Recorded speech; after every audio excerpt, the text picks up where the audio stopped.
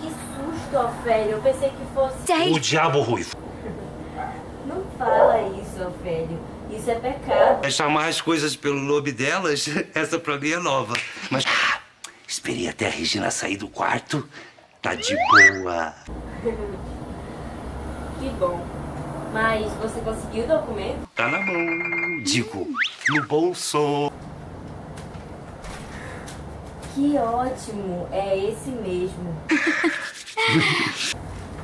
Se a Regina entregar esse documento pro Raul e ele acreditar que a Marina não quer mais cuidar da Isabela, a Regina vai tomar controle de tudo que o pai da Isa deixou pra ela. Ah, não, aí desafinou de vez.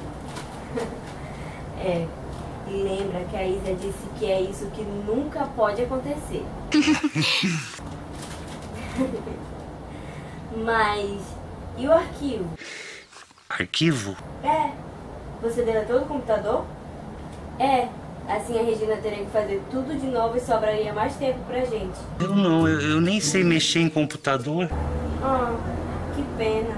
O que foi? É que o arquivo só em papel não adianta nada. A Regina pode imprimir o documento quantas vezes ela quiser.